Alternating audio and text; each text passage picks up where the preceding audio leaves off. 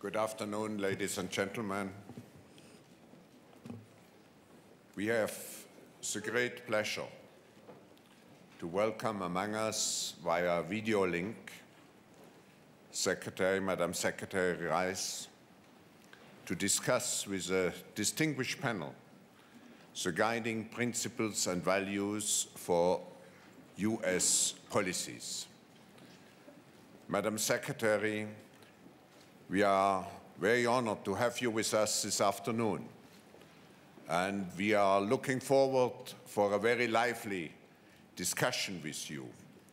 We know um, that we have an opportunity here to raise issues with a panel which actually represents four different areas in the world. And I would like to welcome at my left first Elie Wiesel, who doesn't need any introduction, Nobel Prize winner, professor of the humanities, author connected with the Boston University. I welcome Ngozi Okonjo-Iweala, the Minister of Finance of Nigeria. Daniel Vasella, who is the Chairman and Chief Executive Officer of Novartis in Switzerland, and Kishore Mahbubani, the Dean of the Lee Kuan Yew School of Public Policy in Singapore. We will divide the 45 minutes which we have at our disposal into four parts, each of about 10 minutes. The first part is related and devoted to the issue of democracy and morality. And I would like to give the floor to Dr. Vasella. Madam Secretary, uh, first I would like to thank you uh, for your willingness also to take uh, challenging and open questions in the spirit of uh, this place here in Davos. I have uh, tried to formulate as clearly as I could what is preoccupying for many of us. On one side, we all know that the US is uh, the superpower, economically and also militarily, and is standing up for democracy, defends democracy, and also wants the enforcement of laws. And in this is expansive, beyond the borders of the own country. And in the means used to promote democracy, security, uh, the means seem to contradict with the fundamental values the US is standing for. And I'm asking myself, how is this, on one side, compatible? And secondly, isn't the US government with that playing into the hands of enemies and weakening the supporters? Madam Secretary. Well, thank you very much. Uh, thank you for the very probing question, and I, I want to thank uh, the members of this distinguished panel. There are old friends on this panel, people for whom i have uh, known for years. I want to thank Klaus Schwab for making this opportunity available. And I would like very much to turn to uh, the question just asked, but if you will permit me, I would like to uh, start with a, a, statement on something that I think is very much on all of our minds uh, this morning because I'm certain that people will have seen uh, the preliminary results of the Palestinian elections. Uh, we're going to be talking about democracy in this session, and um, I'd like to begin by making a statement on those elections before turning to the question asked of me. Um, while we await the confirmation of those final results from the Palestinian elections, we've seen the predictions regarding the Palestinian Legislative Council uh, elections. Uh, we offer our congratulations to President Abbas and the Palestinian people on an election process that was peaceful and free of violence and by all accounts fair and where there was very heavy turnout of the Palestinian population. The Palestinian people have apparently voted for change, but we believe that their aspirations for peace and a peaceful life remain unchanged.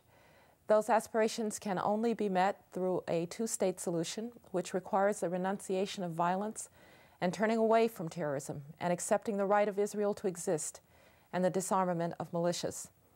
As we have said, you cannot have one foot in politics and the other in terror.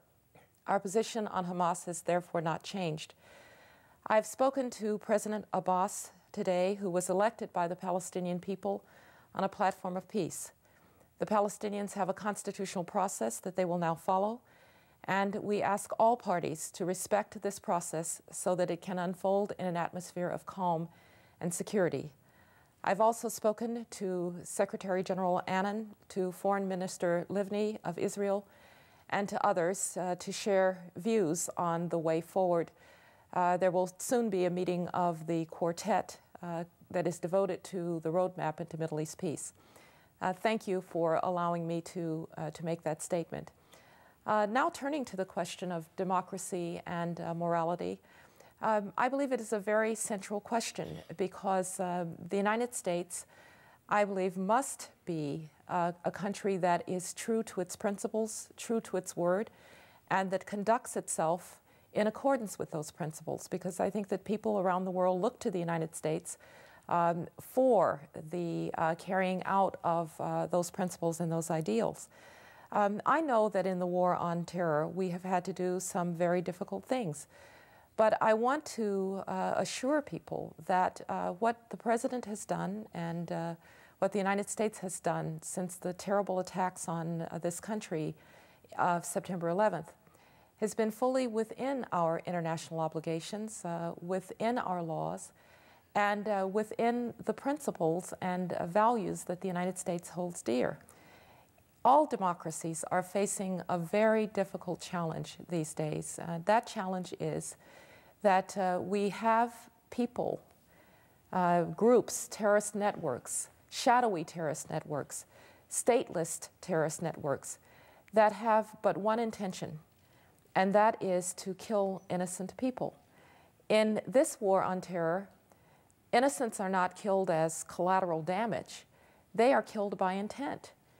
Whether you look at uh, the bombing of a wedding party, a Palestinian wedding party in Jordan, or the bombing of a subway at rush hour in Madrid or in London, or flying an airplane into a building on a fine September day, it's quite clear that these terrorists do not make a distinction between uh, the innocent and, uh, and any others. They simply go after in order to terrorize and to make free peoples uh, turn away from their values. And so they have to be dealt with, and they have to be dealt with in a very tough way because this is a very different war.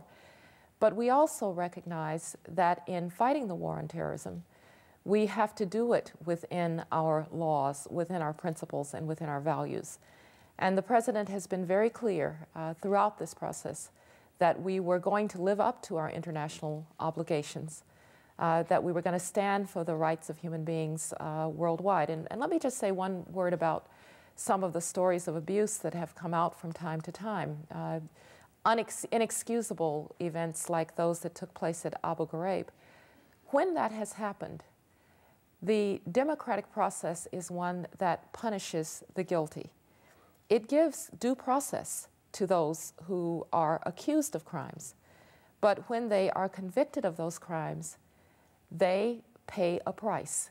And we have had people imprisoned, we have had people lose rank, because the difference between a democracy and a dictatorship is that um, not that democracies are perfect, uh, democracies are human institutions too, they're not perfect, but that when abuses happen, they are openly discovered, in our case by our free press, they are openly dealt with, they are uh, dealt with in accordance with law, but they are not hidden as would be the case uh, in a dictatorship. And so, yes, we've had to do some difficult things. Uh, these are, are hard struggles and hard dilemmas, but I'm quite confident that when the history of this period is written, the United States will have managed to fight the war on terror and stay true to its principles and values. Thank you, Madam Secretary. I know, Elie Wiesel, you have been so much engaged in those issues of human rights and um, values. Uh, how would you react to the statement of uh, Madam Secretary and how do you see, particularly referring to her first statement, how do you, what is your worry in the Middle East in the present situation now with the outcome of the election? Madam Secretary, there was a writer in France called Tristan Bernard, Jewish, a humorist. He was in hiding for some time, and afterwards he was caught by the Gestapo. And he was brought to others who were about to go to Drancy, and they saw him smiling. They asked him, You are smiling now? And he said, Until now, I lived in fear. From now on, I shall live in hope. My question to you is, Madam Secretary, the last time we met, we spoke about fear and hope. Where are we now? Are we oscillating between one and the other? Yes, democracy, of course, is an ideal. We all believe in it. Hamas won. Hamas is surely not a democratic uh, movement. Its ideals are surely not humanistic ideals. Does Hamas still believe in the destruction of Israel? What do we do now?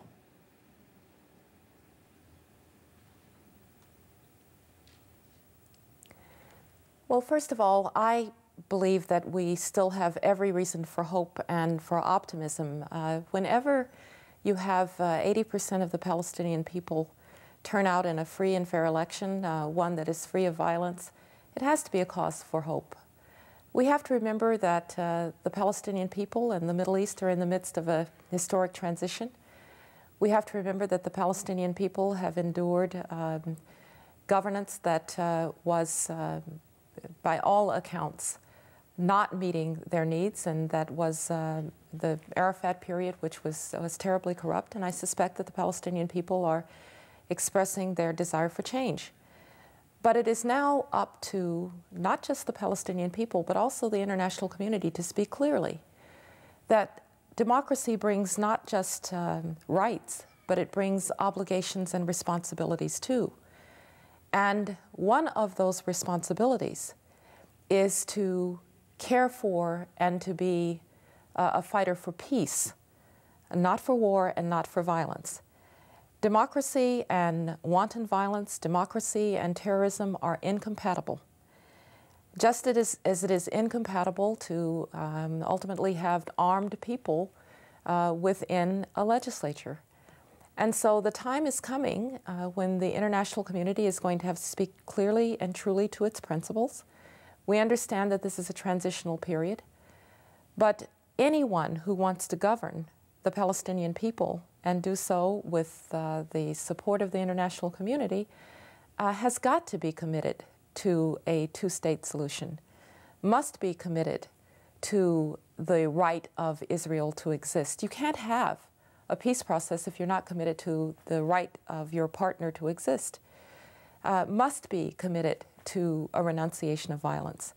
And I think you will hear the international community speak clearly um, uh, in exactly those principles uh, over the next, uh, the next day.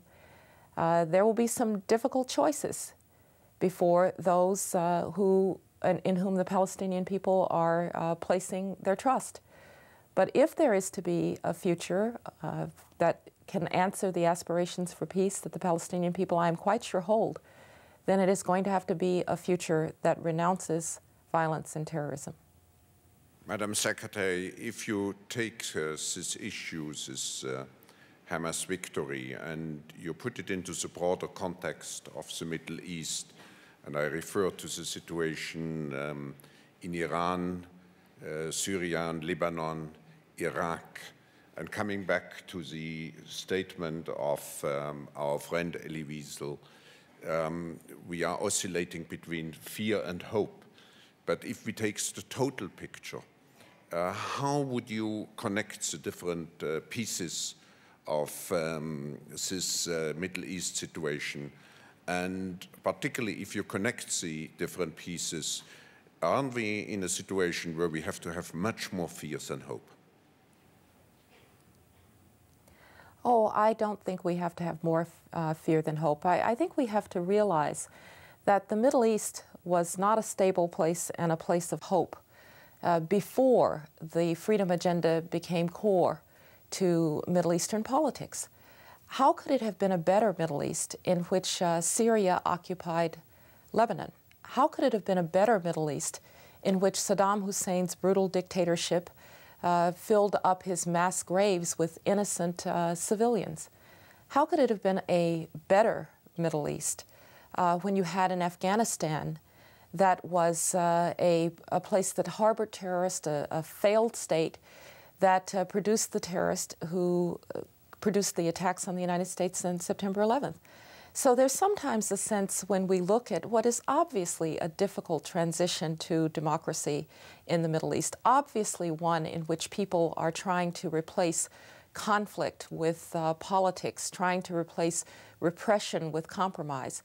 This is hard. Democracy is not easy. But we have to ask, as compared to what? As compared to the Middle East, that uh, is a place that produced the ideologies of hatred that led people to fly airplanes uh, into buildings. So I think we have to have a sense that the positive developments in the Middle East, um, and I could mention not just uh, elections in Lebanon and three elections in Iraq and completion of, of uh, elections in Afghanistan, and of course, Palestinian elections, but also the emancipation of Kuwaiti women with the vote. Very good things are happening in the Middle East. Uh, perhaps we have to step back and remember that our own journeys to democracy were also rocky and difficult. I come from a part of the United States in which my, uh, my parents were not even guaranteed the right to vote until uh, 1965, when I was 10 years old. So we have to remember that democracy is hard, but it is always worth it. And when we ask the question, should we fear the difficult changes, the difficult path to democracy that we now face, we have to ask ourselves, shouldn't we have feared more the tyranny and the hopelessness and the uh, absence of legitimate channels for politics uh, that characterized the Middle East before? Madam Secretary, we have the honor to have here um, President Karzai, and uh, he would underline this message of hope uh, which you just uh, have given in the case of Afghanistan. I know um, uh, Elie Wiesel um, would like to take up one other issue in this respect before we turn to other regions in the world. Madam Secretary, we again, we spoke about Iran Iran wants to become nuclear. I hope it won't. The Iranian president is pathologically sick, sick with hatred. What can we do to stop Iran from becoming nuclear? Well, Iran is a, a significant uh, a danger and challenge, I think, to the international community. And, and I will turn to the nuclear issue, but it's not just Iran's nuclear policies that are a problem. Iran is uh, the most important sponsor, uh, state sponsor of terrorism, sponsoring uh, those who would undermine uh, the hopes of uh, people in uh, Lebanon or in the Palestinian territories for peace. And so we also have to recognize that there's a terrorism problem with Iran. We have to recognize that the Iranian people a great people, a people that deserve to be integrated into the international system, are um, having their hopes hijacked by an unelected few who determine uh, the future of Iran. And that is uh, also out of step with the direction that the rest of the region is taking. And yes, of course, we are deeply concerned, gravely concerned about Iran's uh, obvious desire to uh, be outside of the international consensus, which says that Iran cannot have uh, either a nuclear weapon or the technologies that might lead them to be able to gain a nuclear weapon. And so we are working very closely with our partners in the international system, uh, most especially with the European Three, who, by the way, gave the Iranians uh, an opportunity for an opening to the world, for greater trade, for, for greater engagement if Iran would only allow its civil nuclear needs to be met in a way that was consistent with proliferation concerns. Given that the Iranians walked out on that opportunity, given that they have broken their moratorium uh, and have begun to remove the seals on uh, equipment that would allow them to perfect the technologies for nuclear, uh, for nuclear weapon, it's our very strong view that it is time to refer Iran to the Security Council. Uh, that is not only the view of the United States, but also the view of the European three who tried to bring the Iranians uh, into the community of states. And uh, we're going to pursue that course. Now, when we're in the Security Council, there will be many options available to the Security Council, but we believe that that is only the start of a new phase of diplomacy. A certain set of negotiations will have failed, but diplomacy will still have, uh, we will still have diplomatic means to try and uh, get Iran to return to uh, more sensible policies. So uh, the international community has got to react, and it has got to react strongly. Uh, you have seen the condemnations of the uh, terrible statements by the president of Iran, and you've also seen the condemnations of Iran's behavior in removing seals and threatening to restart its, its nuclear processes. We must now turn that condemnation into action by referring Iran to the Security Council so that the weight of the Security Council can be behind the International Atomic Energy Agency as it to deal with the Iranian issue. Madam Secretary, during this meeting, there's a lot of discussion on the rise of China and uh, India and what consequences it may have on the geopolitical and geo-economic situation. And I would like to turn uh, to our friend uh, Kishore Mahbubani uh, to comment on this issue and to raise um, possibly questions. Uh, thank you very much, Madam Secretary. I was going to begin by saying you can now relax. Uh, we're leaving the Middle East uh, and going to an area where hopefully there is a bit less tense. But at the same time, uh, frankly, the region where the stakes are the greatest are still in East Asia. And if you had to point to the one big question of the 21st century, the one big question, of course, is the rise of China and how it will emerge. And there are two, I guess, possible extreme scenarios. One, the emergence of China as an angry, resentful dragon upset that the world had thwarted its rise, or that China can emerge as a responsible stakeholder and one that, in a sense, adds to the global system. The country that can influence the rise of China the most today is America as the sole superpower of the day. What America does, what America says, makes a huge difference to the emergence of China. And this is a particularly sort of plastic moment in terms of the direction that China is going to go into. And the sense I have is that China watches America intently.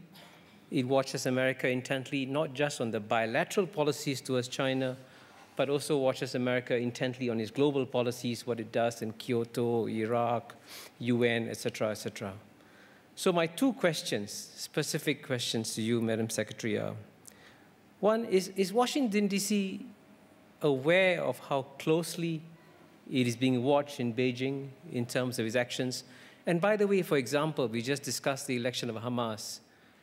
I can tell you that this will be watched very carefully in Beijing too. How is America going to react to this?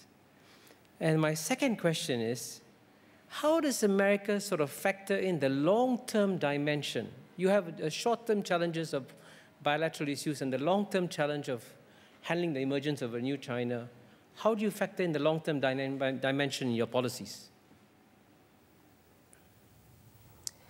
Well, thank you. And you're right. Uh, probably the most dynamic region in the world uh, certainly is indeed uh, East Asia. And uh, one only has to look at the tremendous economic activity, the, um, the growth uh, that has characterized uh, this region.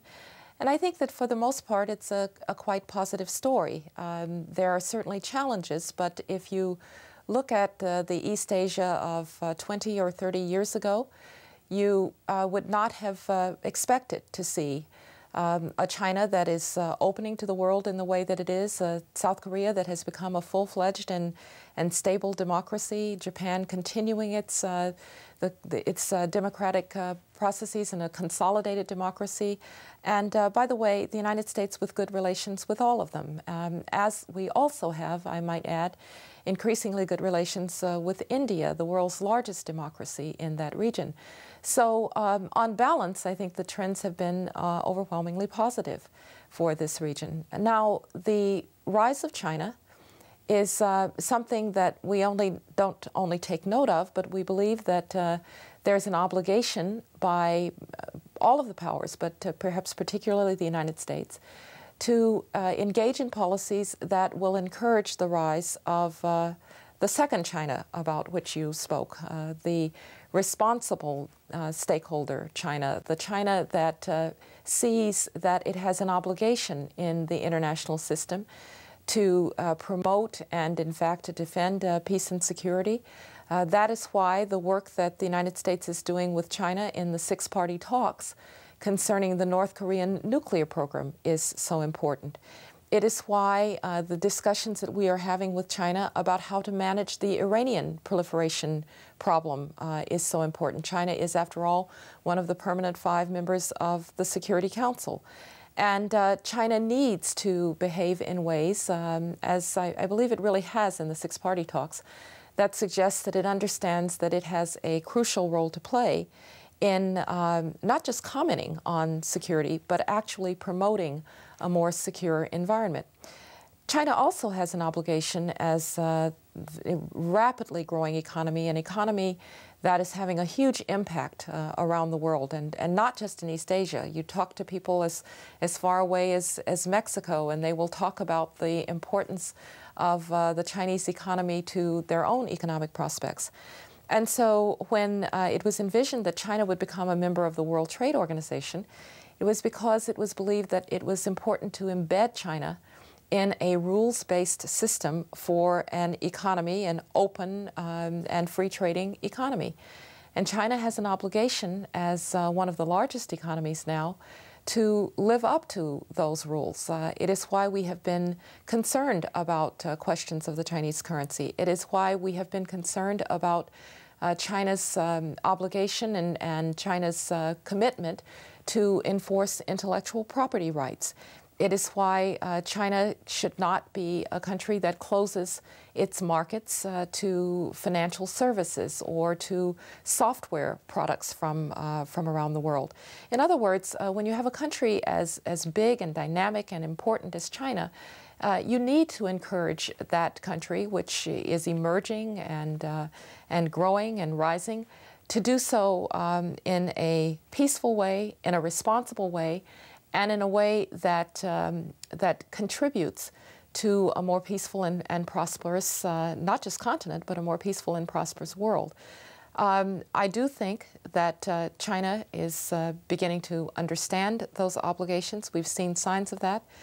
But um, it is still a country that's very much in transition. And in that regard, China's own domestic transition is also um, an issue. And we have um, had extensive conversations with the Chinese about uh, the relationship of their growing economy, the increasing prosperity of their people, and uh, the desire for a more open political system, which will undoubtedly come because it's, it's really very hard to tell people to think at work but not at, not at home. And so uh, when you want creative people, they have to have a sense that uh, they are going to be able to defend uh, their interest in a political system. So there is a lot at stake with China. But I think that if you take the region as a whole and you look at Japan, you look at South Korea, you look at Southeast Asia, which uh, is emerging also as an incredibly dynamic region. Um, who would have thought of uh, that Vietnam would be uh, where it is uh, some 30 years ago? Would that have been thought possible? Uh, of course, uh, consolidating democracies in, in Singapore and Thailand, uh, Philippines, places that, are, that have democratic processes. And so uh, this is a region that is going through a lot of change. There are still challenges. There are still outliers uh, in the region. But on balance, um, I, I, have to say that I think it is a, a region that uh, not just has great promise, but that is really, really fulfilling that promise.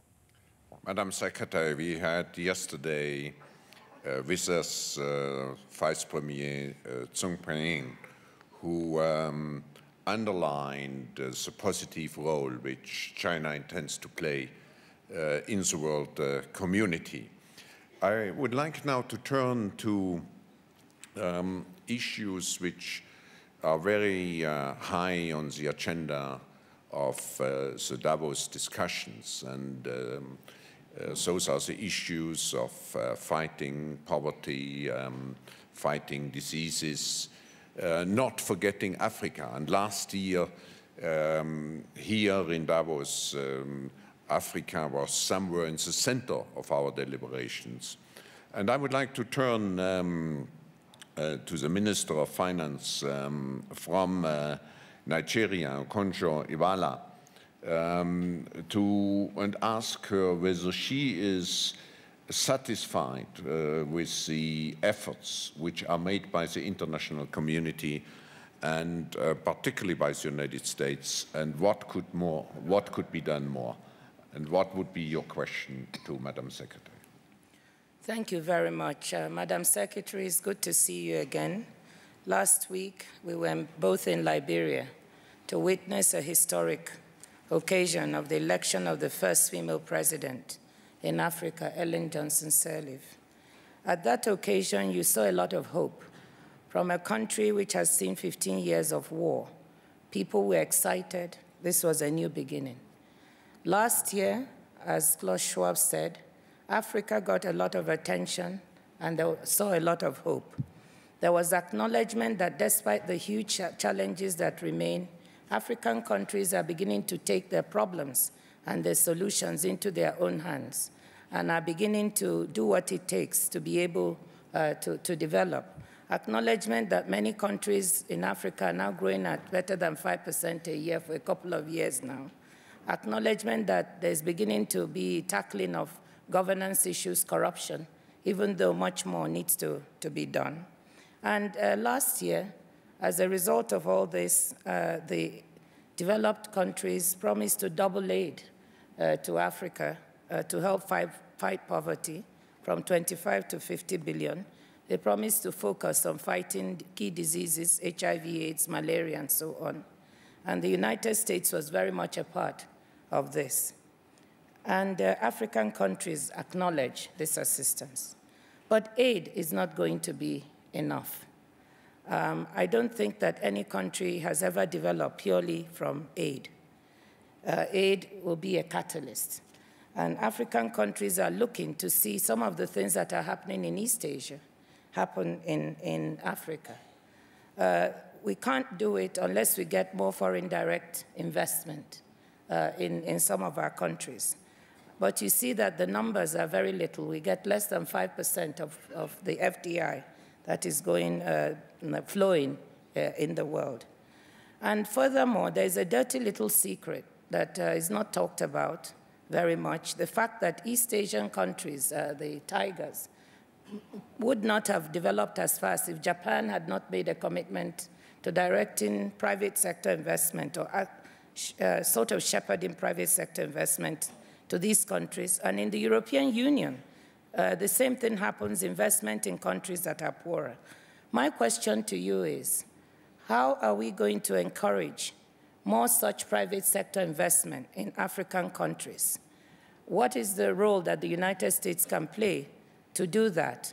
Uh, because my fear is if we do not, we will not get the kind of development that we're all looking for. Thank you. And what Well, thank you very much, and uh, hello to you too. We were indeed together in Liberia.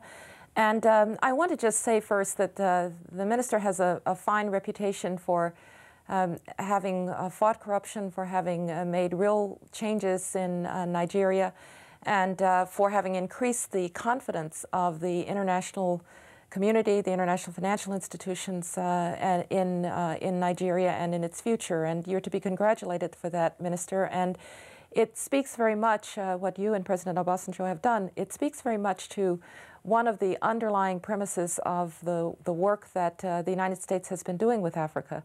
In fact, uh, this president has uh, increased African aid uh, by almost uh, three times uh, since he came to office. Um, he made a $15 billion commitment to HIV/AIDS um, and, uh, and malaria and tuberculosis. Uh, he's made uh, enormous commitments to uh, women's education in Africa, and of course, the Millennium Challenge account, the Millennium Challenge Corporation now, as we called it, we call it, singles out countries that are engaged in good governance that uh, have democratic processes, that invest in their people, that fight corruption, because we believe that that is where the, uh, a, a, the dollar of uh, American assistance is likely to make the biggest difference in the way that uh, the minister just, uh, just mentioned. Because foreign assistance should not be a permanent condition. It should make countries uh, of seeking foreign investment, of uh, growing their own economies, and so, and so foreign assistance should be a temporary hand up. But it's not going to be a temporary hand up unless you have good governance. And um, I think that good governance, you have rule of law, you fight corruption, you have contracts that are uh, stable and that the commitments can, uh, can be relied upon.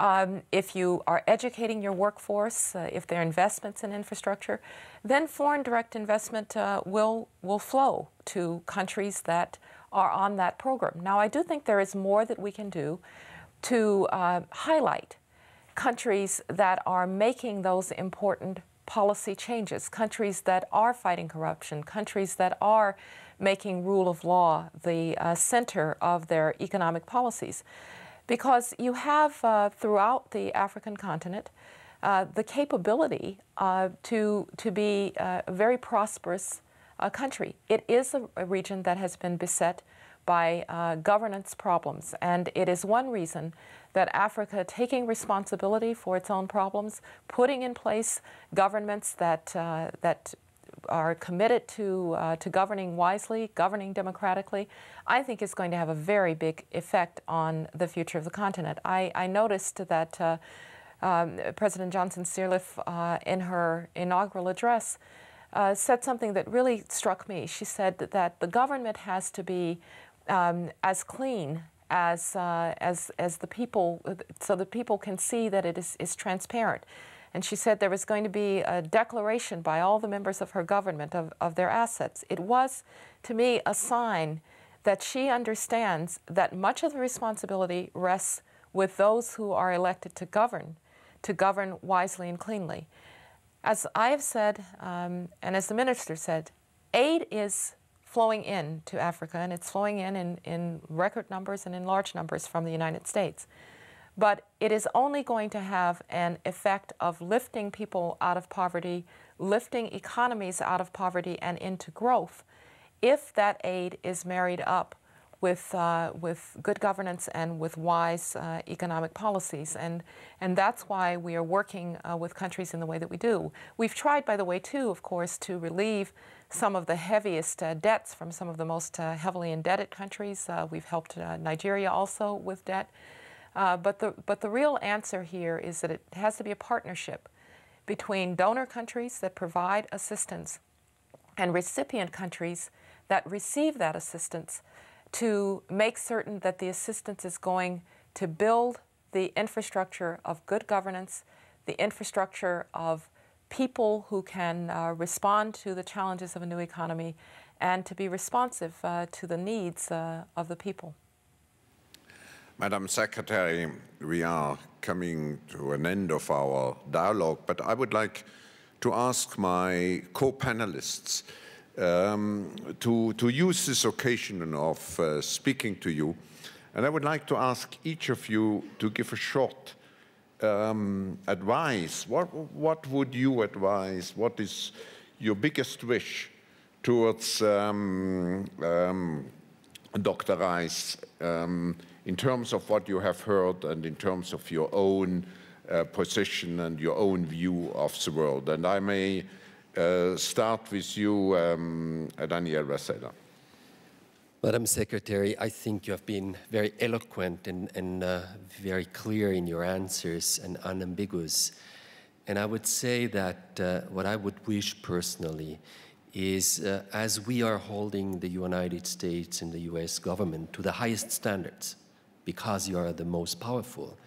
Uh, we would like that the credibility is here and uh, fully, if I may be so blunt to say, restored, because there are questions around in various parts of the world how consistent it is, and I'm coming back to morality and action.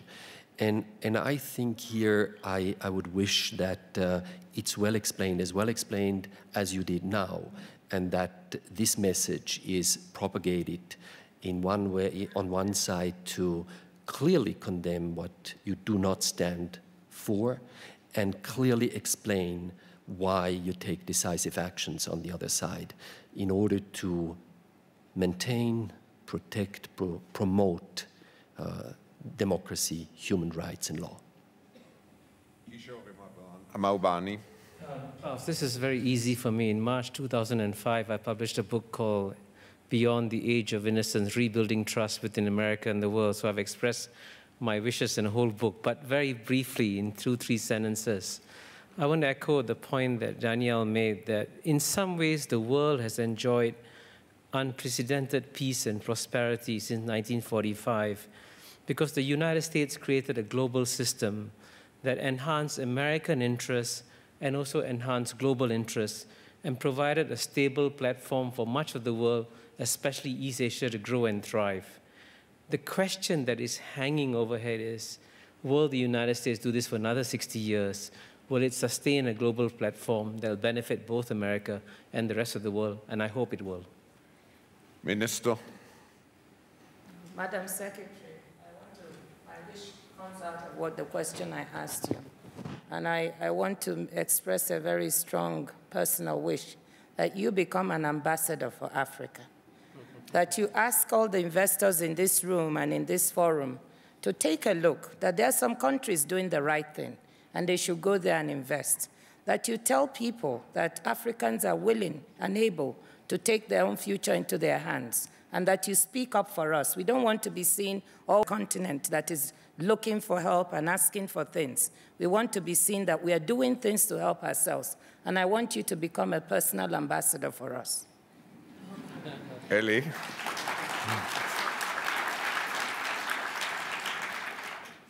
Madam Secretary, you know very well that a great power is great not because it has a great army, a great economy, extraordinary means of achieving success. A great power is great because of its great moral principles, and I'm sure you believe in them. And therefore, what I would give you an advice which you have already received from me, to organize under your auspices a conference in the State Department a kind of summit meeting of intellectuals, moralists, a conference on hatred. What is threatening the 21st century is hatred. We must analyze its sources, its origins, its motivation, and we must eradicate it. Good luck. Thank you.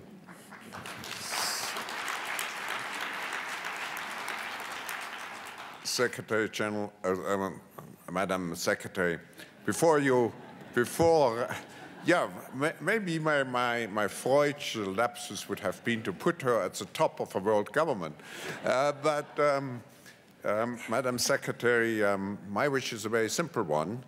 Um, next year, we hope to have you personally with us. Um, Madam Secretary, I would um, be very appreciative if you would have the last word. And I just want to thank you, before you take the final floor, how much we appreciated um, that you joined us, at least visually, digitally, and we are looking forward to welcoming you one day here in Davos. But it's your final word, Madam Secretary. Well, thank you very much. And I want to thank my uh, fellow panelists, and I want to thank you, Klaus, and I do look forward to joining you um, in person uh, next year. I would just like to close uh, by uh, recalling that uh, when we are true to our values and, and true to our principles, uh, we really have nothing to fear. We have every reason for optimism because there have been great challenges to democracy before in our lifetimes, and uh, democracy has, has usually triumphed. But it's triumphed not just because it is an important principle and because it burns deep in the heart of every human being, but because we've been willing to fight for it and to defend it.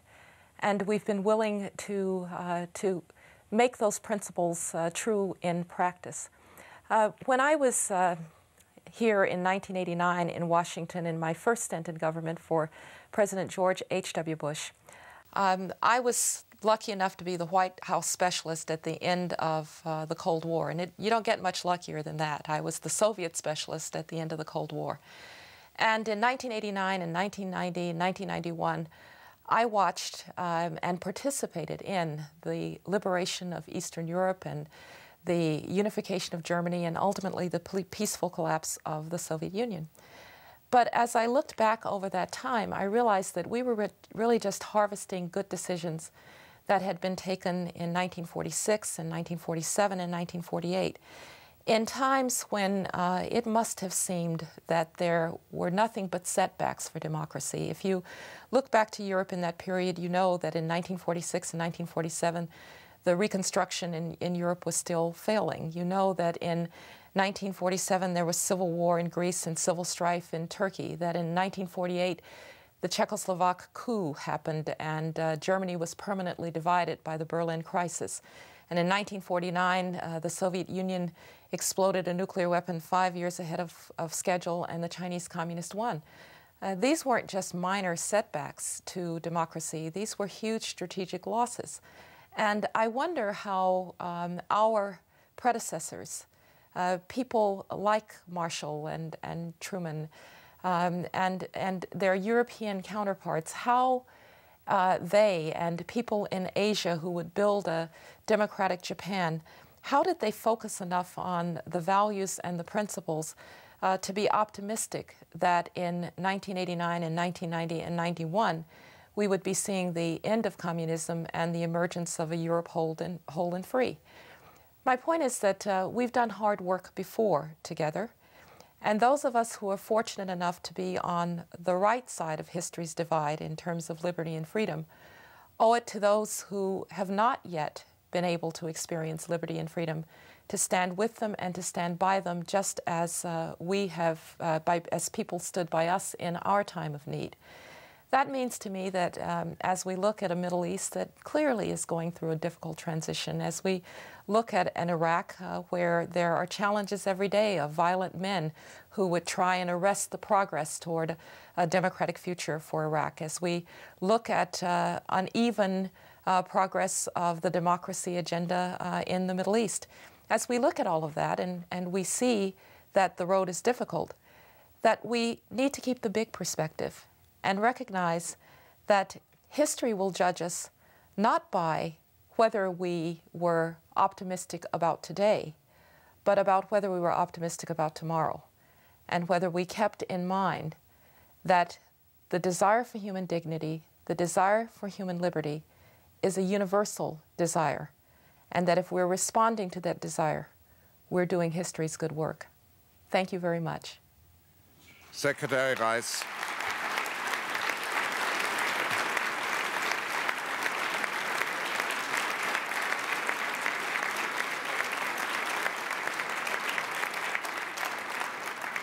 You cannot look here into the audience, Secretary Rice, but on behalf of everybody, I would like to thank you very much and also my fellow panelists for having participated at this session, which certainly helped to clarify uh, the US position and the uh, guiding principles and values for US politics. So thank you very much for having joined us this afternoon.